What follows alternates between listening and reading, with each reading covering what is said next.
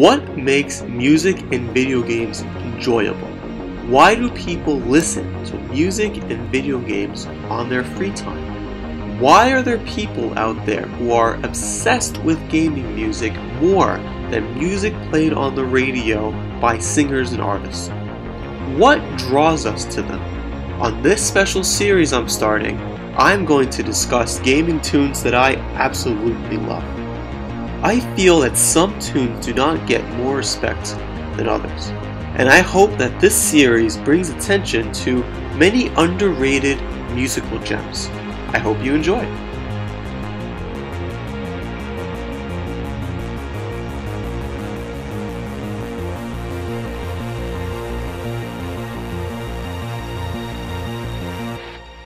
Hey YouTube, folks, I have something important to say.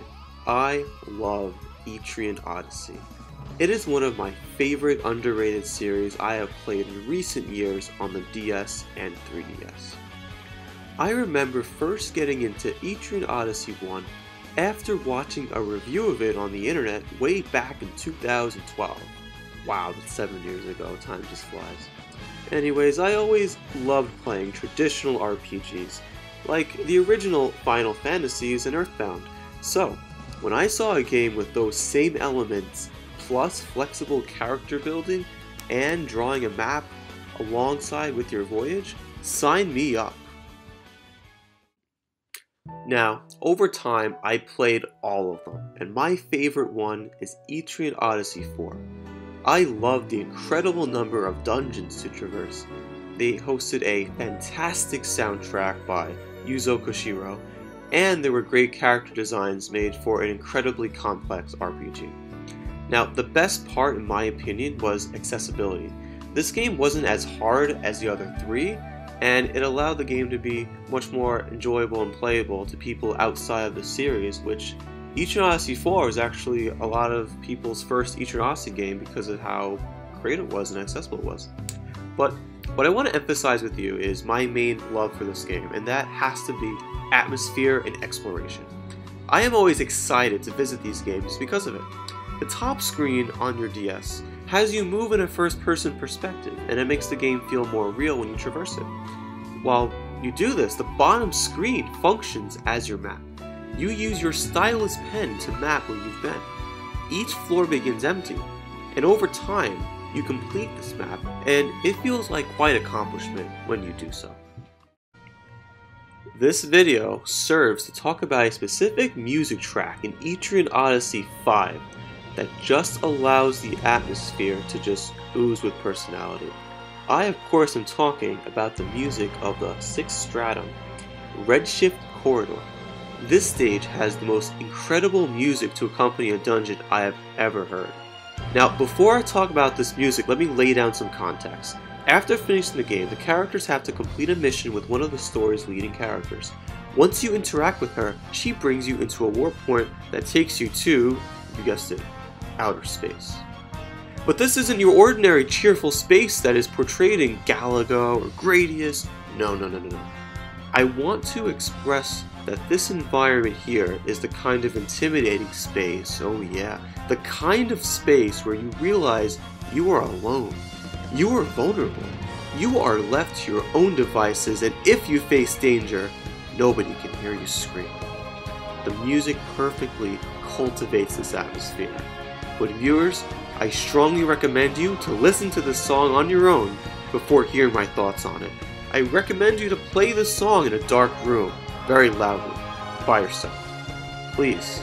Also, rec I recommend looking at images of space in first person to make yourself feel isolated even more. So, how does this music portray all these complex feelings? Let's begin. The music begins very quietly there is a very small opening with sounds of falling stars and a sense of rising. You're at peace. This peace continues for a bit. I can imagine an adventurer that the faint music is a person's first impression of space. The adventurer cannot figure out if the environment is peaceful or dangerous. But then, suddenly, there is an ominous tone. This tone persists. This tone means need to be on your toes. This tone continues frequently as the space music repeats. The beat picks up a bit until there's a sound of motion.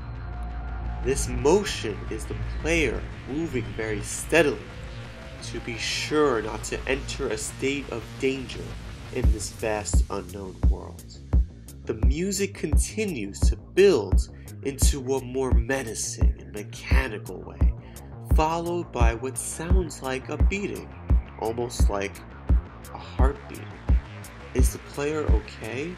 The tension is rising as the player becomes more and more nervous, anxiety increasing.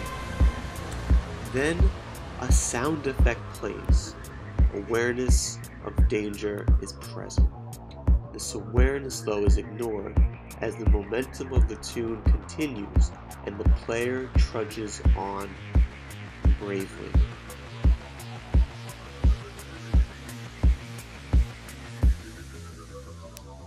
All of a sudden, there is calmness in the atmosphere, but the player is skeptical. Is this true calmness, or is there danger lurking nearby? The player continues to be skeptical as they are traversing this dangerous, unknown land.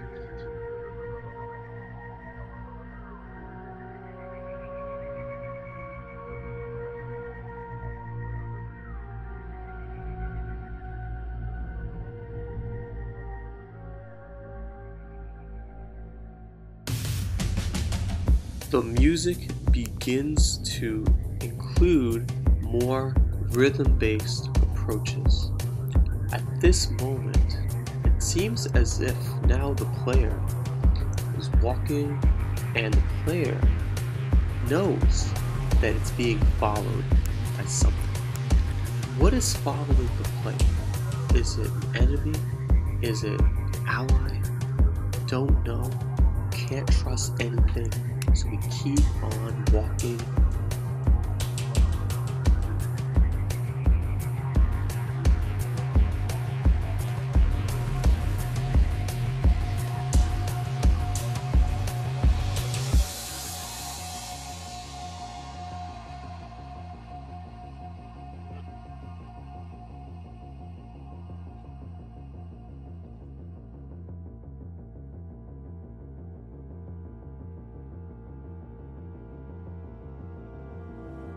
Next, we hear a stretching noise. The stretching noise makes it seem like the player is making sharp, quick turns in order to avoid being seen.